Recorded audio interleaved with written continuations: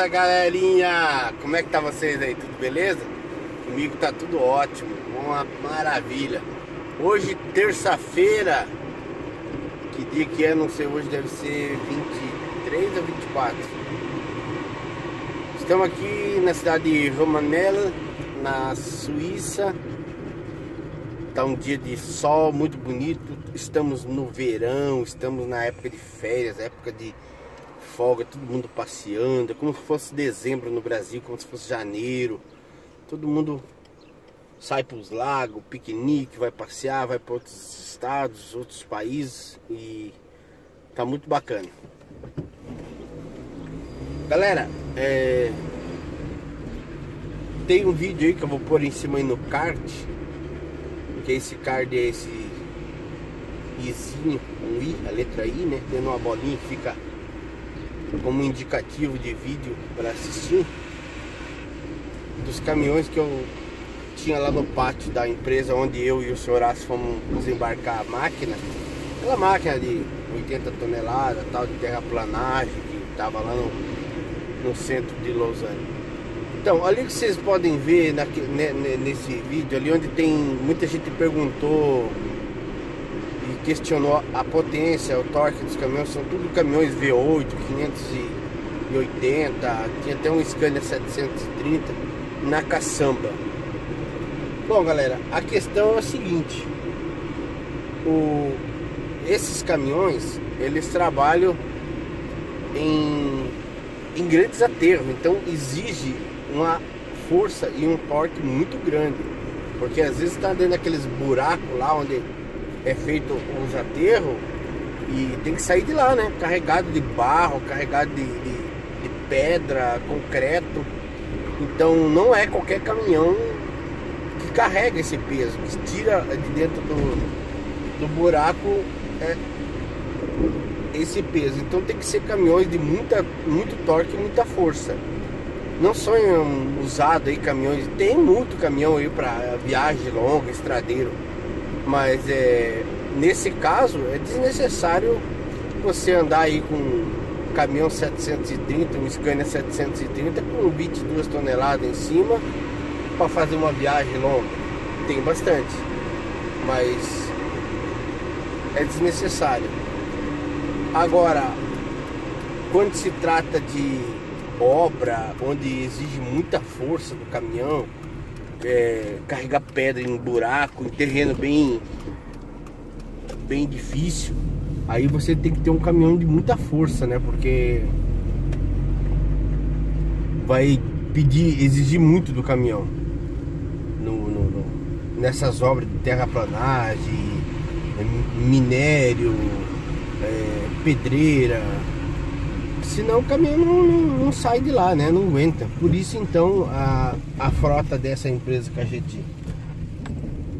viu aí no vídeo e vai estar tá em cima no card tem esses caminhões potentes. São caminhões utilizados para esse tipo de trabalho. Caçambão, né? Que ele fala para tirar terra de aterro, pedra, cimento, essas coisas aí de lugar buraco bem, bem, bem forte.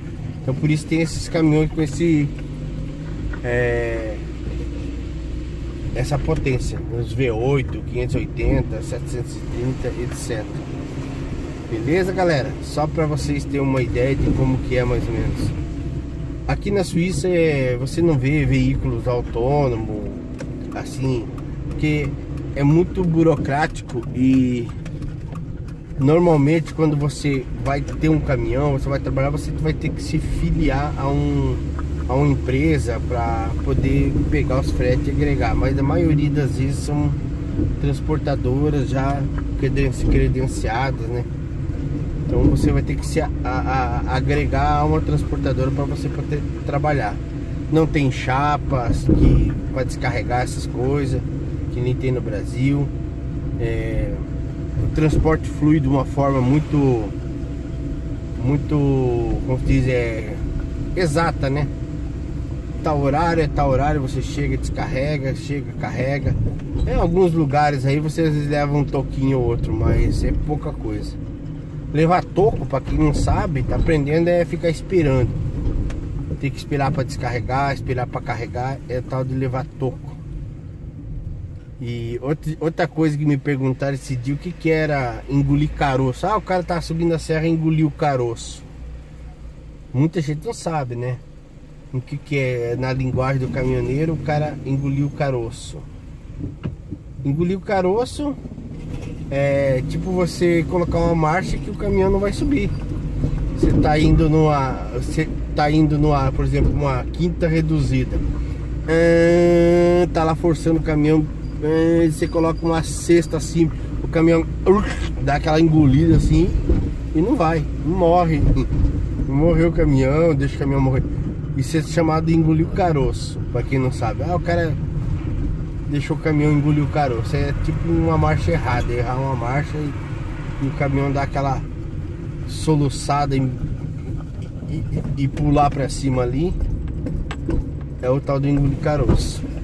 Beleza, galera? Só mais uma informaçãozinha. Desejo a todos vocês aí uma ótima semana. E sempre que aparecer alguma novidade aí, a gente vai estar tá registrando aí para mostrar para vocês. Embora no, no momento eu não esteja com, trabalhando com caminhão, porque estou passando por uma transição, não me canso de falar isso.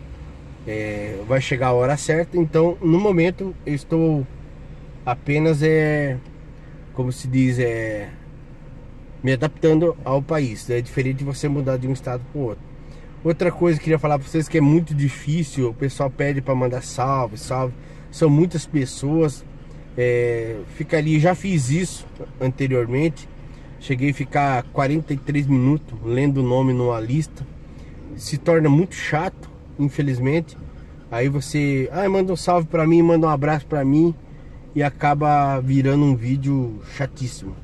Aí você fica 40 minutos esperando ouvir seu nome. Ah, um salve pro Joaquim, pro Antônio, pro Rodolfo lá da Paraíba. Um salve pro. Fica sem. Estranho. Se fosse uma, duas pessoas, vai, mas são muita gente. Então. Fica difícil. Valeu, galerinha. Desejo para vocês, já falei, uma boa semana. E se você quer aparecer alguma novidade, a gente vai registrando para vocês. Vou procurar aí achar um uma forma de dar uma modificada nos vídeos aí. E sempre vai ter alguma coisa pra gente fazer. Faço vídeo porque eu gosto, é o meu hobby, é uma coisa que eu curto. Somente por isso e pela amizade que eu tenho com as pessoas. Não me importa de que forma, o que pensam, o que deixam de pensar. Pra mim é meu hobby, eu me divirto com isso. Valeu, galera. Vamos lá, vamos lá que daqui um dia nós estamos aí na, na rodagem. É só uma questão de adaptação. Daqui um pouquinho nós estamos mandando ver Beleza? E fica o meu salve, né? Pra todo mundo que assiste os vídeos, no geral. Porque é muito difícil mandar um abraço pra um, um abraço pra outro, por causa de que tem muita gente.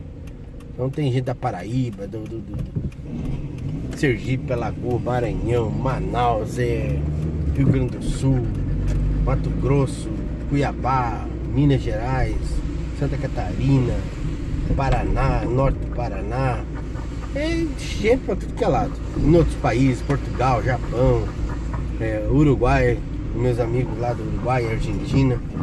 Então, um abraço galera, fui, tudo de bom, boa semana.